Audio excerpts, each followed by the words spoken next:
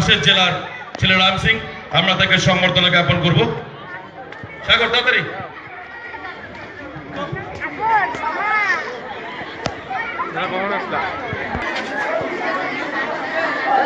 সবাই এত কৃপণ। আমাদের পাশের জেলা, আমাদের গর্ব উত্তরবঙ্গের সেরা। তাও একটু করতালি সম্বর্ধনা জ্ঞাপন করতে দেখেন এত কৃপণ।